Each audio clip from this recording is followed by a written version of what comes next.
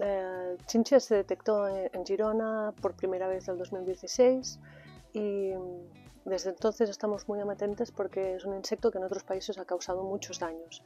Es de difícil control a partir de fitosanitarios, entonces eh, se busca medios alternativos de control o por lo menos de reducción de población y entre los proyectos que había o las ideas que surgieron, que hay muchas sobre la mesa, pues salió esta de, ayudarnos con perros guía para la detección de los refugios invernales de este insecto. Este insecto cuando llega el invierno eh, se refugia en, casas o en almacenes o en sitios que estén secos y que tengan una temperatura estable. Mm, surgió la idea de, como conocía la Rousset y su proyecto, pues de de ver si podía unir los dos lados para ver si se podía encontrar la fórmula de que los perros nos ayudaran con la detección de los refugios invernales.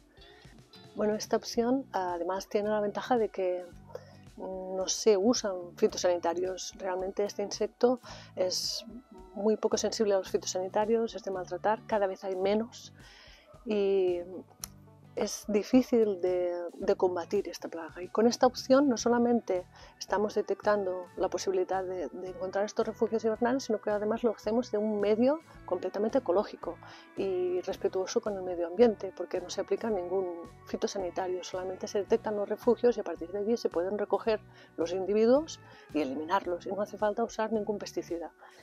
Aquí lo más difícil fue conseguir los individuos, es decir, el problema es que siempre cuando entrenas una sustancia tienes que tener los individuos.